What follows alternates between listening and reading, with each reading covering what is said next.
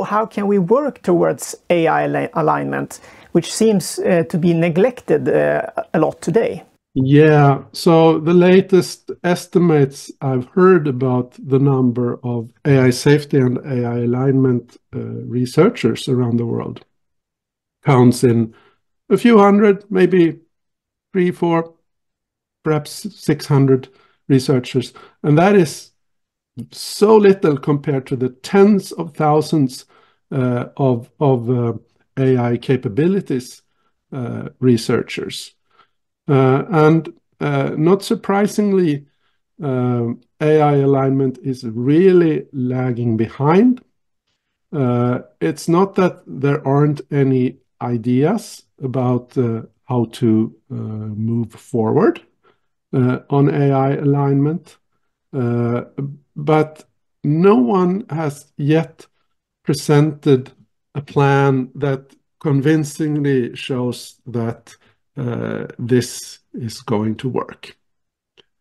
Um, the uh, most commonly used um, alignment-like method in practice is what is called reinforcement learning with human feedback, which is what OpenAI and some of these other leading companies uh, are using to try to uh, tame their uh, large language models and and prevent them from from saying bad things prevent them from saying racist and sexist things and prevent them from helping users do uh, criminal or immoral acts. If you ask um, ChatGPT uh, how to hotwire a car or how to cook methamphetamine or whatever.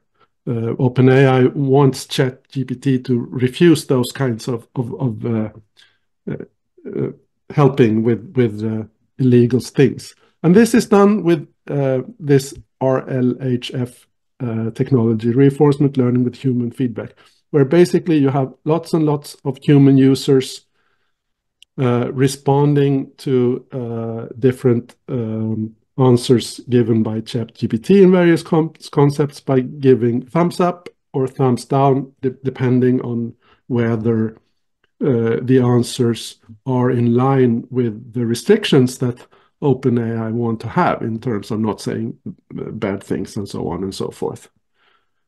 And uh, this is a methodology that has had some success. It's not full success because uh, we've seen lots and lots of examples of uh, ChatGPT and other large language models uh, breaking these rules.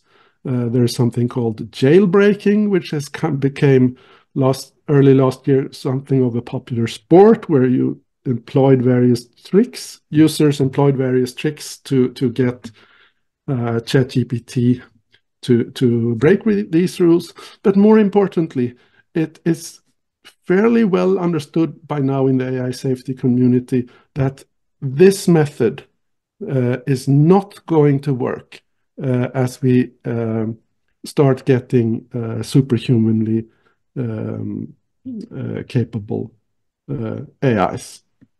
And in particular, it's not going to work uh, AIs reach the level of situational awareness uh, and, and, and other um, uh, capabilities uh, that makes it understand when and when not it can deceive us.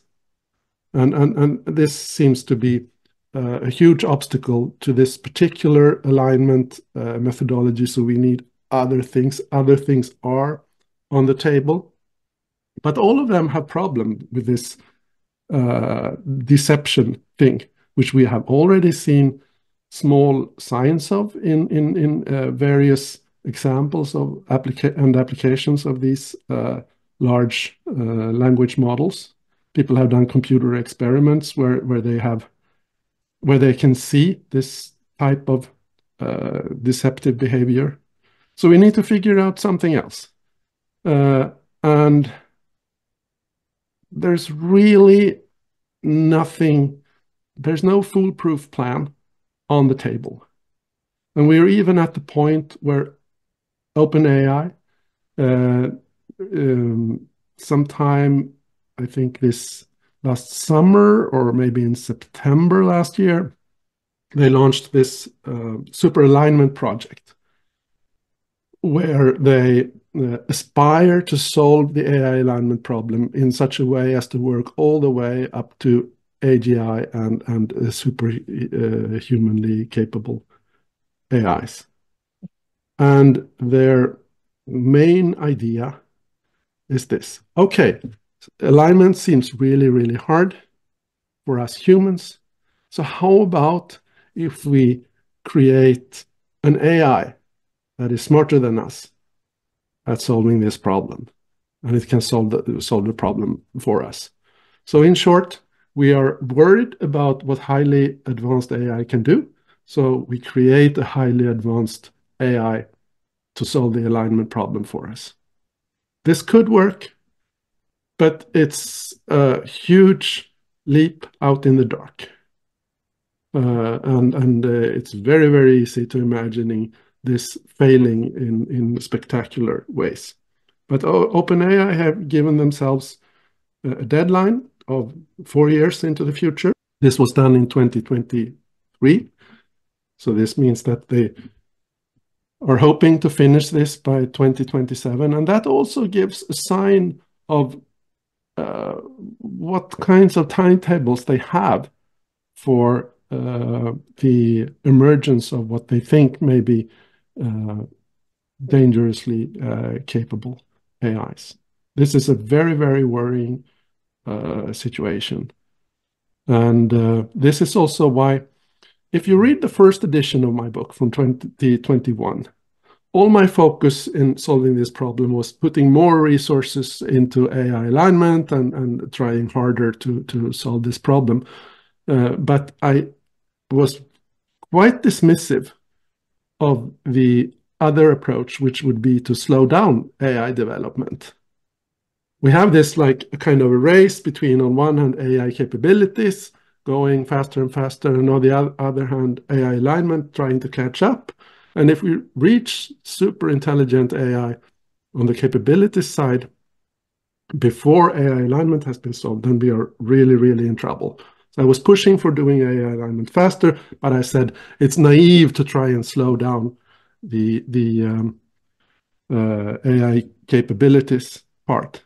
But since then, I and many others have changed our mind and think that the situation is now so urgent and so dire that with the current speed at which uh, AI capabilities is, is developing, there really isn't most likely enough time uh, to to um, solve the AI alignment problem. We need more time for that, and therefore we need the leading AI companies, OpenAI, um, Google DeepMind, uh, Anthropic, and maybe a few others, to pull the brakes, to slow down, to to give AI alignment a, a chance to catch up, and and and uh, really ha have the chance to to create a happy ending to, to this.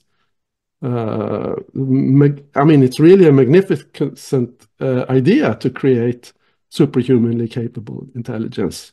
I think that it, it's it's the in some sense the greatest project in, in the history of humanity. But if we don't solve AI alignment, it might also be the very last thing we do.